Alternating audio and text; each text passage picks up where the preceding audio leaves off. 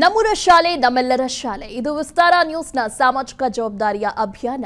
ಸರ್ಕಾರಿ ಶಾಲೆಗಳ ಮೂಲಭೂತ ಸಮಸ್ಯೆಗಳಿಗೆ ಸ್ಪಂದಿಸುವ ನಮ್ಮ ಈ ಅಭಿಯಾನಕ್ಕೆ ಅನೇಕ ದಾನಿಗಳು ಸಮಾಜ ಸೇವಕರು ನಮ್ಮ ಜೊತೆ ಕೈ ಜೋಡಿಸಿದ್ದಾರೆ. ಈ ಅಭಿಯಾನದಲ್ಲಿ ಶಾಲೆಗಳಿಗೆ ಕಾಯಕಲ್ಪ ಕಲ್ಪಿಸಲಾಗುತ್ತೆ. ಇಂದಿನ ಮುಖ್ಯ ಅತಿಥಿಯಾಗಿ ಹೋರಾಟಗಾರ ಮೀರ್ ಸಾಹೇಬ್ ಅವರು ನಮ್ಮೊಂದಿಗೆ ಇದ್ದಾರೆ. ಸರ್ ನಮಸ್ತೆ. ನಮಸ್ತೆ. ಸರ್ ನಿಮ್ಮ ಶಾಲೆಯ ಬಗ್ಗೆ ಪರಿಚಯ ಮಾಡಿಕೊಡ್ತೀವಿ. ವಿದ್ಯಾರ್ಥಿಗಳಿದ್ರೂ ಮುಚ್ಚುವ ಹಂತಕ್ಕೆ ಸರ್ಕಾರಿ ಶಾಲೆ ತಲುಪಿದೆ. ತೊಂಬತ್ತೈದು ವರ್ಷ ಇತಿಹಾಸ ಹೊಂದಿರುವಂತ ಸರ್ಕಾರಿ ಶಾಲೆ ಇದು. ಕಡಬಾದ ಸರ್ಕಾರಿ ಮಾದರಿ ಹಿರಿಯ ಪ್ರಾಥಮಿಕ ಶಾಲೆ ಇದು. ದಕ್ಷಿಣ ಕನ್ನಡ ಜಿಲ್ಲೆಯ ಕಡಬ ತಾಲೂಕಿನ ಶಾಲೆ. ಸಾವಿರಾರು ವಿದ್ಯಾರ್ಥಿಗಳನ್ನ ರೂಪಿಸಿದ ಶಾಲೆಗೆ ಇದೀಗ ಕುತ್ತು ಬಂದಿದೆ. ಸದ್ಯ ನೂರ ತೊಂಬತ್ತು ವಿದ್ಯಾರ್ಥಿಗಳು ಶಾಲೆಯಲ್ಲಿ ಕಲಿಯುತ್ತಿದ್ದಾರೆ. ನೂರ ತೊಂಬತ್ತು ವಿದ್ಯಾರ್ಥಿಗಳಿಗೆ ಕೇವಲ ನಾಲ್ಕು ಶಿಕ್ಷಕರು ಮಾತ್ರ ಇದ್ದಾರೆ. ತರಗತಿ ಅಕ್ಷರ ದಾಸೋಹ ಕೊಠಡಿ ಶೌಚಾಲಯ ಶಿಥಿಲಾವಸ್ಥೆಯಲ್ಲಿದೆ. ದುರಸ್ತಿ ಬಿಟ್ಟು ಕೊಠಡಿ ಕೆಡವಲು ಅಧಿಕಾರಿಗಳು ಇದೀಗ ತೀರ್ಮಾನವನ್ನ ಮಾಡಿದ್ದಾರೆ. ಅಧಿಕಾರಿಗಳ ತೀರ್ಮಾನದ ಬಗ್ಗೆ ಸರ್ಕಾರಕ್ಕೆ ದೂರನ್ನ ಕೂಡ ನೀಡಲಾಗಿದೆ. ಸಾಮಾಜಿಕ ಕಾರ್ಯಕರ್ತನಿಂದ ಶಾಲೆ ಉಳಿಸುವಂತಹ ಹೋರಾಟ ನಡೀತಾ ಇದೆ. ಕಡಬಾದ ಮೀರ್ ಸಾಹೇಬ್ ಅವರಿಂದ ಶಾಲೆ ಉಳಿಸುವಂತಹ ಹೋರಾಟವನ್ನ ಮಾಡುತ್ತಿದ್ದಾರೆ. ಮುಖ್ಯಮಂತ್ರಿಗೆ ಪತ್ರ ಬರೆದು ಶಾಲೆಯ ಸ್ಥಿತಿಯ ಬಗ್ಗೆ ಮಾಹಿತಿಯನ್ನ ಕೂಡ ನೀಡಿದ್ದಾರೆ. ಶತಮಾನದ ಶಾಲೆ ಉಳಿಸಲು ಮುಖ್ಯಮಂತ್ರಿಗೆ ಮನವಿಯನ್ನ ಕೂಡ ಮಾಡಿದ್ದಾರೆ. ಸರ್ ಈಗ ಪರಿಸ್ಥಿತಿ ಹೇಗಿದೆ? ಈ ಹಿಂದೆ ಯಾವ ರೀತಿ ಇತ್ತು? ಹಲೋ? ಎಸ್ ನನ್ನ ಧ್ವನಿ ಕೇಳ್ತಿದ್ಯಾ ಸರ್? ಕೇಳುತ್ತೆ. ಸರ್ ಈ ಹಿಂದೆ ಯಾವ ರೀತಿ ಪರಿಸ್ಥಿತಿ ಇತ್ತು? ಈಗ ಹೇಗಿದೆ ಅಂತ?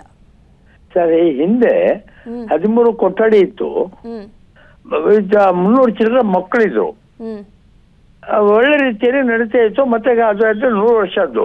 ಅದರಲ್ಲಿ ಒಂದು ಎಂಟು ಕೊಠಡಿಗಳು ಆಗ್ಲೇ ಅಥವಾ ನೂರು ವರ್ಷ ಆಗಿದೆ ಅಂತೇಳಿ ಹತ್ತು ಮೂವತ್ತು ವರ್ಷ ಇಂಚೆ ಅದನ್ನು ಕೆಡವಿದ್ದಾರೆ. ಕೆಡವಿ ಬರೀ ಎರಡು ಕೊಠಡಿ ಆಗಿದೆ. ಒಟ್ಟು ಈಗ ಹನ್ನೆರಡು ಕೊಠಡಿಗಳು ಇರುವಂತದ್ದು ಹನ್ನೆರಡರಲ್ಲಿ ಒಂದು ಅಡಿಗೆಗೆ ಮತ್ತೆ ಲ್ಯಾಟ್ರಿನ್ ಮತ್ತೆ ಕ್ಲಾಸ್ ರೂಮ್ ಅಂತೇಳಿ ಇರುವಂತದ್ದು ಏಳು ಕೊಠಡಿ ಮಾತ್ರ. ಏಳನೇ ತರಗತಿವರೆಗೆ ಏಳು ಕೊಠಡಿ ಇರುವಂತದ್ದು ಇದರ ಬಗ್ಗೆ ಮಕ್ಕಳಿಗೆ ವಿದ್ಯಾಭ್ಯಾಸ ಮಾಡ್ಲಿಕ್ಕೆ ಕಷ್ಟ ಆಗ್ತದೆ ಸೋರ್ತದೆ ಮೇಲಿನ ಪಕ್ಕ ಸಲ ಹೋಗಿದೆ ಹಂಚೆಲ್ಲ ಹುಡಿ ಹುಡಿ ಆಗಿದೆ ಅಂತೇಳಿ ನಾವೊಂದು ನಾಲ್ಕು ವರ್ಷದಿಂದ ಜಿಲ್ಲಾ ಪಂಚಾಯತ್ ಮುಖ್ಯ ಕಾರ್ಯನಿರ್ವಹಣಾಧಿಕಾರಿಗೆ ಡಿ ಡಿ ಪಿಗಳಿಗೆ ಮತ್ತೆ ಬಿಒಗಳಿಗೆ ತಿಳಿಸ್ತಾ ಇದ್ದೇವೆ. ಬರ್ತಾರೆ ನೋಡ್ತಾರೆ ನೋಡುವ ಆಗ್ತದೆ ಬರ್ದಿದ್ದೇವೆ ಬರ್ದಿದ್ದೇವೆ ಬರ್ಲಿಲ್ಲ. ಕಡೆಗೆ ಇದು ಡೇಂಜರ್ ಇದೆ ಅಂತ ತಿಳಿಸುವಾಗ ಡಿ ಸಿ ಎನ್ಕ್ವೈರಿಗೆ ಹಾಕಿ ಡೆಮಾಲಿಷ್ ಮಾಡಬೇಕು ಈ ಬಿಲ್ಡಿಂಗ್ ಅನ್ನ ಅಂತೇಳಿ ಬರ್ದಿದ್ದಾರೆ. ಡೆಮಾಲಿಷ್ ಮಾಡ್ಬೇಕಂತ ಬರ್ದದಲ್ಲದೆ ಮಾಡಲಿಲ್ಲ ನಮ್ಗೆ ಬೇರೆ ವ್ಯವಸ್ಥೆ ಕೂಡ ಆಗ್ಲಿಲ್ಲ. ಹೌದು. ಡೆಮಾಲಿಷ್ ಮಾಡಿದ್ರೆ ಮಕ್ಕಳಲ್ಲಿ ಹೋಗೋದು? ಎಲ್ಲಿ. ಓದುದು? ಖಂಡಿತ. ಈಗ ಕಷ್ಟ ಆಗಿದೆಮ್ಮ. ಆದ ಕಾರಣ ನಾವು ಕಳೆದ ವರ್ಷವೂ ಮುಂಚಿನ ವರ್ಷ ಆಯ್ತು. ಈ ಬಾರಿ ವಿದ್ಯಾ ಸಚಿವರಿಗೂ ಕೊಟ್ಟಿದ್ದೇವೆ ಮುಖ್ಯಮಂತ್ರಿಗೆ ಕೊಟ್ಟಿದ್ದೇವೆ ಜಿಲ್ಲಾ ಉಸ್ತುವಾರಿ ಸಚಿವರಿಗೆ ಮನವಿಯನ್ನು ಕೊಟ್ಟಿದ್ದೇವೆ.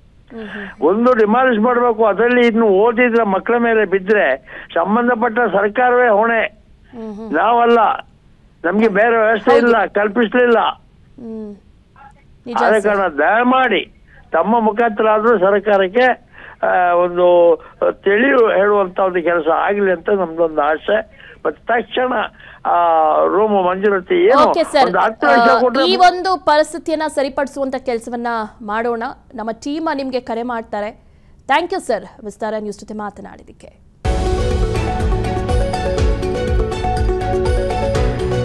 ಕ್ಷಣದ ಸುದ್ದಿಗಳಿಗಾಗಿ ವಿಸ್ತಾರ ನ್ಯೂಸ್ ಆಪ್ ಡೌನ್ಲೋಡ್ ಮಾಡಿ.